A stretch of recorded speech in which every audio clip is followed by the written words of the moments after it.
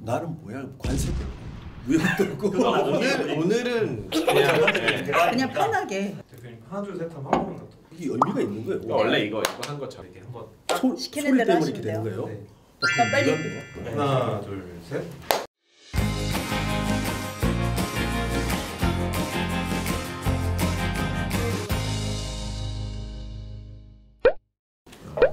네, 안녕하세요. 오늘 모인 이유가 이민을 왜 떠나는가라는 주제를 한번 음, 그 주제로 한번 시작해 볼까요? 네.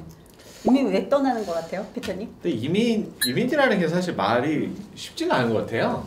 모르겠어요. 제가 제일 처음에 이민을 92년도에 갔으니까 완전 옛날에 어, 갔었잖아요. 90인도요? 네, 그러니까 92년에 이민을 가고 20년 동안 해외 생활하고 한국에 와서 이제는 한국에 살고 있는데 그때만 해도 제가 이민 갈 때는 이렇게 이민을 딱 간다. 그러면은 평생 못 보는 그런 저 느낌으로 빨빨. 예. 네, 그때만 해도 김포공항이었어요. 그쵸. 국제공항이. 아이고, 그러니까 내가 이민 간다니까 친구들이 다 나와서 눈물 콧물 짜고 막 이랬는데 지금은 조금 더 많이 오픈돼서 많은 사람들이 가기도 하고 또 역으로 이민 오기도 하지만 그때만 해도 좀 되게 특별했던 것 같아요. 아, 타고나신 거죠.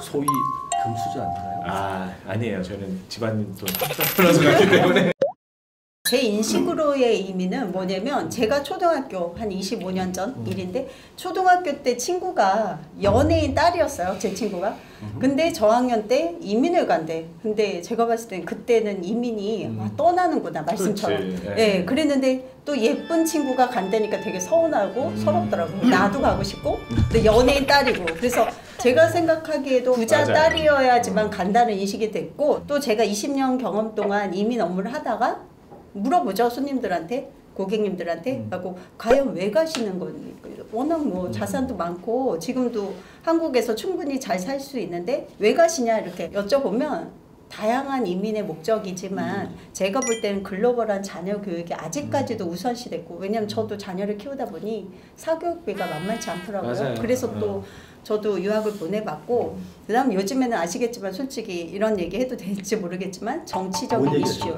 네. 정치적 피로감이 엄청난 것 같고요. 그다음에 변화되는 세금 정책에 대- 대한 피로감을 고객님들이 많이 느끼시는 우리 것 지금 같아요. 셀레나님 이야기 네. 듣다 보니까는 이 이민의 유행이 점점 이렇게 바뀌고 깊이가. 많이 바뀌었죠. 지금 이렇게 많이 바뀌는데 네. 저는 사실은 이제 한국 토종이라 가지고 네. 해외에 나가서 공부해본 경험이 전혀 없어요. 그래서 우리 또 이제 피러 네.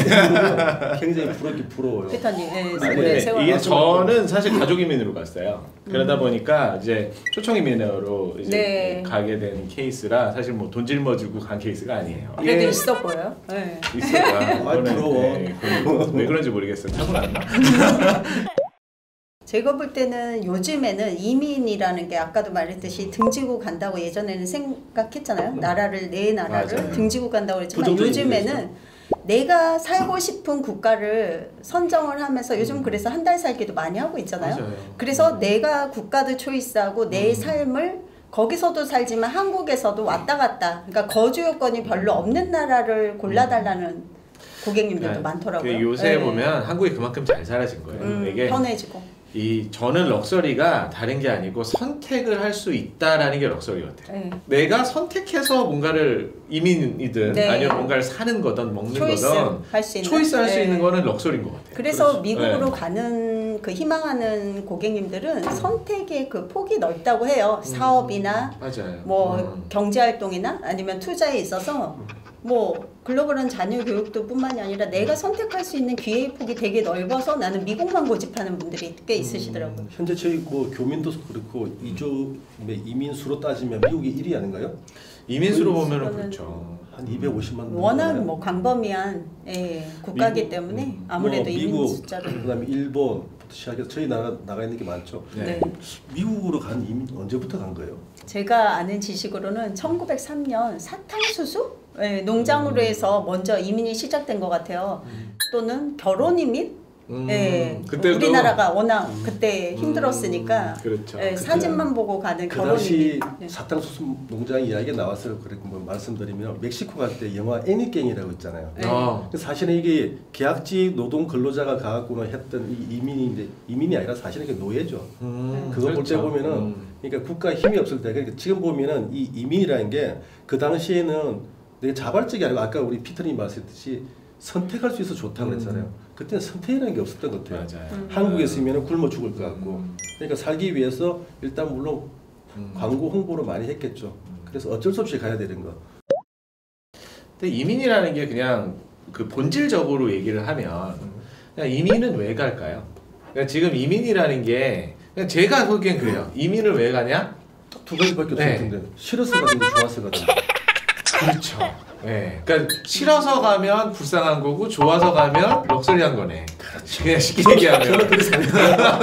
단순해가지고. 그러네. 그러니까 지금 한국 분들이 이민을 결정하는 건 상당히 후자에 속하는 거죠. 그렇죠. 또 네. 이제 일제 시대 때 있고 하니까 또 강제적으로 해갖고는 한국에 살 없으니까 다 중국 러시아 가고 음. 또 러시아 갔더만 그때 되니까 또 지금 뭐 집단적으로 해갖고는 중앙아시아 개발한다고 다 스탈린이 다 쫓아보내지. 맞아. 사투리를 아, 사투리 너무 피해주세요. 구수해. 네. 아니 지금도 뭐 고려 시청자분들이 사투리를 좀 이해하기 어려울 수 있어요. 이렇게 사투리 들으면 전염된다. 표준어를 사용해 주세요. 네, 앤디님. 다 쫓아보내지. 결론은 그런 것 같아요. 네. 이 집단지 이주가 됐든 뭐 개별지 이주가 됐든 또 자이든 타이든 이주라는 것도 형태가 다양하고 트렌드 계속 변하는데 네. 중요한 거는 지금 이제 우리가 어느 정도 그 위치되고 선택을 할 수 있다는 거. 그 면에 저는 굉장히 공감이 가고 특히 저도 그렇지만 이제 제 같은 경우는 한 번도 못 갔으니까 거의 끝났다고 볼 수 있지만 은퇴로를 고민하고 있어요. 음. 왜냐 저에게도 아직 이후에 이민에 대한 꿈은 있거든요. 아, 그러신가요? 하지만 이제 자식들에 대해서 아마 다 비슷할 거예요. 음. 나보다는 좀 더 좋은 환경에서 좋은 문화와 다양한 사람들하고 만나기를 원하기 때문에 이민을 보내지 않을까. 저는 그 말에 근데 저는 사실 거기에 뭔가 한마디 하고 싶은 이유는 뭐냐면 우리 아이들이 좀 더 좋은 곳에서 좋은 환경에서 살았으면 좋겠어라는 게 이게 지난 한 10년, 20년 동안 완전히 바뀐 것 같아요. 음, 솔직히 말씀드리면 저도 외국 생활 오래 생활하고 외국 뭐 출장 밥 먹듯이 다니고 네. 맨날 다녔는데 솔직히 한국이 외국보다 좋거든요. 음. 솔직히 환경 맞아요. 네. 환경적인 면에서 보면은 한국이 안 좋은 부분들이 뭐 요새 이제 뭐 미세먼지 네, 자연환경. 네, 자연환경에 이제 좀, 좀 어려움이 막 있죠. 그리고 또 하나는 이제 그 뭐 사람이 너무 많은 거 에 대해서 어, 경쟁이 치열하고 예, 기회는 작은데 사람은 많. 이런 부분들이 있는 것들은 좀 문제가 있을 수 있어요. 근데 어, 이전과는 완전히 다른 것 같아요. 한국 보면은 뭐, 뭐 맛있는 데 되게 많죠. 뭐 여행 다니기도 나쁘지 않죠. 한국 주위에 얼마나 좋은 곳들도 많이 있고. 뭐 요새 뭐내제 친구들 후배들 봐도 뭐 여- 해외 여행 안 갔다 오는 애들이 없어요. 다 다녀봤고 정말 한국이 살기 좋은 많은 좋은 환경이 있는데 어, 그래도 부족한 게 있는 거죠. 그러니까 크게 전반적으로 안 좋다라고 하기는 그렇고 그, 그게 뭐죠? 그게 뭘까? 그게 그래서 요새는 오일도 있고 하면 속된 네. 말로 한국은 돈만 있으면 살기 좋은데 가장 좋은데 다 똑같은 얘기하죠. 그거는 맞는데 저는 반론을 제기하고 싶은 게 있어요. 어, 살기 좋은 택배. 음, 그죠? 말씀대로 두 분 말씀대로 좋은 곳이 너무 많아요 한국은. 편한 네, 퀵 방문 서비스, ICT 강국이에요. 배달 막 저좀 얘기 좀 할게요. 아, 예. 네. 방문화도 잘 돼 있는 나라가 여러 곳 그렇죠. 다녀보면 우리나라처럼 잘 돼 있는 데가 없어요. 그죠? 예. 호주나 미국 같은 데는 문을 클로징하고 음. 뭐 한국 물건들이 명품도 더 좋은 게 디자인 네. 여자 입장에서 근데 저는 한 엄마의 학부형으로서 제가 제, 대치동에 잠깐 하- 학우열 때문에 저도 살아봤는데 이건 장난이 아니었어요. 음. 경쟁 사회야 그냥. 학원을 보내기 위한 그 과외를 시켰어요 저도. 그 중에 한 명이 엄마였는데 해보니까 돈보다 그 에너지가 너무 소비량이 많다는 거죠. 음. 그래서 엄마 입장에서 보면 그냥 두 분 말씀하신 대로 우리 자녀들 세대가 좀 글로벌하게 예전에 저희 때만 해도 엄마가 만약에 외국인하고 결혼하면 부모님이 반대했는데 저는 달라졌어요. 음. 예, 제 인식이. 저희 아들이 굳이 외국인을 데리고 와도 뭐 예쁘면 괜찮을 것 같아요. 네.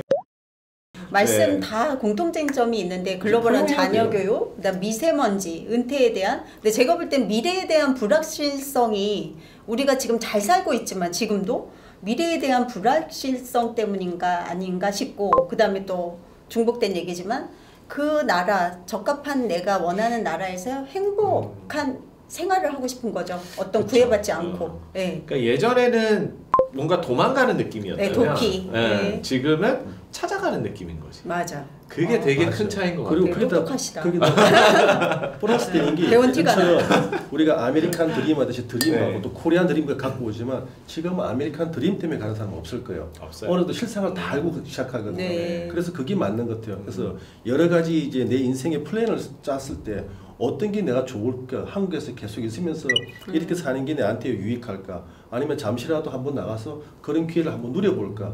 아마 그런 이제 선택의 문제가 또 맞는 것 같아요. 네, 맞습니다. 음. 그리고 결국에는 제 생각에는 내가 사는 곳이 한국이라서 잘 사는 게 아니라 음. 어떤 내가 살고, 살고 싶은 곳에서 내가 그럼요. 활동, 영역 음. 범위를 초이스하고 영역 범위 내에서 행복하게 사는 게 이민이, 이민을 하고자 하는 이유인 것 같기도 해요. 네.